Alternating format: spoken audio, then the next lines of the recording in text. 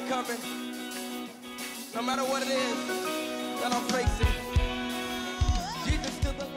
Guys, what's up? This is Travis Green. I'm headed to one of my favorite places, Warri, Delta State, and hanging out with my good friends, Reverend Igho and the Glorious Fountain Choir. Um, this is going to be an incredible conference this, this July. I need everybody to plan to be there. It's called Revival, Fire, Power, and Glory. That's right, it's a worship encounter right there at the City of Refuge every day at 3 p.m., July 20th through the 22nd. Listen, do what you can do to be in the place so we can worship and go up together. I can't wait to see you soon. Love you.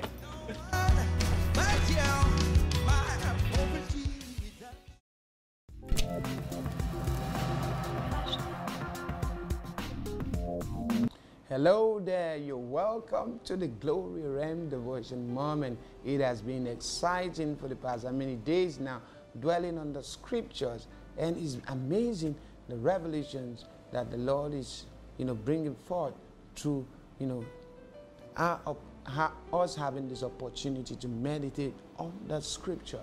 We have been dwelling on the book of John, and we've been on chapter number four for uh, a while now. And it's so amazing what we have stored up in the scripture. And you know, this is the conversation, primarily the conversation between Jesus and the woman at the well. And he was talking to her of the reality of life in the spirit. She started with tradition, you know, trying to, once she realized that he's a prophet, she brought up the issue of worship.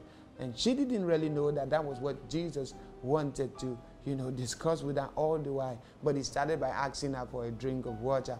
But beyond that, there is not much more in store, you know, concerning this meeting. And Jesus did something very, very unusual. And when he began to talk with her, once she brought the subject of religion, I mean, uh, worship into it, he saw that she was talking about religion and then began to focus our attention, you know, into the real thing. And, you know, in verse number 23, he made her realize the outcome and now is when the true worshippers will worship the Father in spirit and in truth. And he began to show her the way. And then we stopped at verse number 24, where he was talking about the fact that they that worship the Father must worship him in spirit and truth. Why? God is a spirit. And it takes people in the same realm, you know, to communicate. You don't communicate with a goat. No, you don't. Uh, you don't communicate with, with some other kind of creatures. You communicate with your fellow human beings. And, you know, and now you commu communicate because there's something common, all right? Communication had to do with encoding and decoding. Now, the things of God are spiritual. Now, until you become a spiritual being also, I mean, active with your spirit man alive, you will not be able to have you know, a deep and intimate relationship with God. And that is the essence of Jesus dying on the cross so we can have a one-on-one relationship with God Almighty. Now going on to verse number 25. Now let's see what the woman you know, said after Jesus said so. Verse 25 tells us, and look at what it says. The woman said to him, I know that Messiah is coming. You see, this woman was of the lost, lost tribe of Israel, the Samaritans I told you earlier on. So they are not oblivious of the prophecies, prophecies given over time. And they too have been waiting for the Messiah, just like some other you know, religious group talk about the Messiah, all right? Most of them who do that are some are connected to Abraham and also lay claim to Moses the prophet. And you know, these persons, Abraham, Isaac, Jacob, and then Moses, the lawgiver, and others spoke about the Messiah, all right? And it's the expectation of all who have this connection. And the woman was not talking about it. You know, that's verse number 25. The woman said to him, I know that the Messiah is coming. He who, he who is called the Christ, the anointed, the anointed one. And when he arrives, look at Anna, when he arrives, he will tell us everything we need to know and make it clear to us. Now, people have been looking for what is already there. Look at, you know, she was talking about the Messiah, and everyone knew that the Messiah has the answer.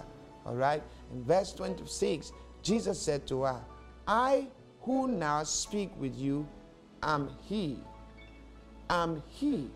Now, Jesus didn't let that pass. Anything about His identity, He doesn't play with that. He doesn't unnecessarily hide it. All right? He said, I am He. That Messiah you are talking about, He's the one talking to you right now. And this is such an amazing moment for this woman. You know, the prophets of old looked forward to see the Messiah. They didn't. Anointed prophets, they didn't. A lot of people who, who heard the teachings of those prophets looked forward to see the Messiah, hoping it will happen in their time. Now, here is somebody who, in all description, doesn't really fit a saint, and somebody whose life has been messed up, and who doesn't really seem to be someone that God will reveal himself to. Here is she standing, talking, having a conversation with the Messiah. It's amazing how the love of God is made manifest. The love of God knows no bound. He is not looking at your outward righteousness. God loves each one of us as though we are the only ones in the universe. He loves you much more you, than you can imagine. He loves you so much, He's willing to reveal Himself to you. See, Jesus went all the way to Samaria to reveal himself to this woman, and then afterwards, several others, you know, encountered him. Now look at, well, I, you, let's see the reaction. Now, verse 27.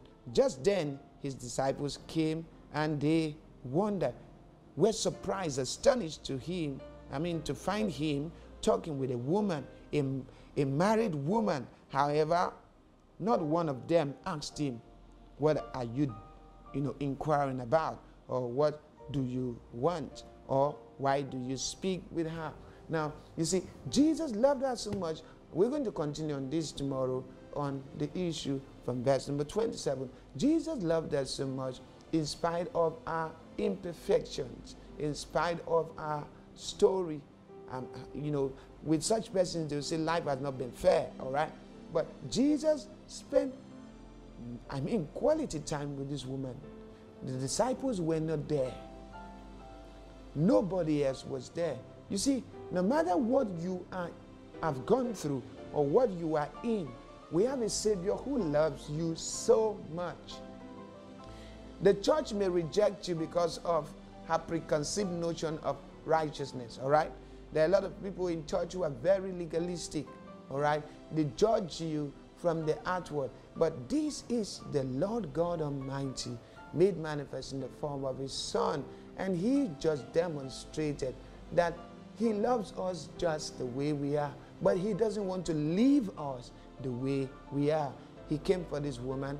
And you know what? Reading the story further, you come to see that her life was never be was never again the same. All right? And so we want to continue on this tomorrow. I encourage you to be part of the broadcast tomorrow. Um, I promise you something. God is going to do something really, really, really revolutionary. Something that is going to cause a worship revolution on the inside. We have a God who loves us, and all you just need to do is accept that love that was demonstrated by the death, burial, and resurrection of Jesus, giving Himself for you so you might be saved. Accept Him today as your Lord and Savior, and your life will never be the same again. Till I come your way again tomorrow, this is Igho Louis Yegbeburu. God bless you.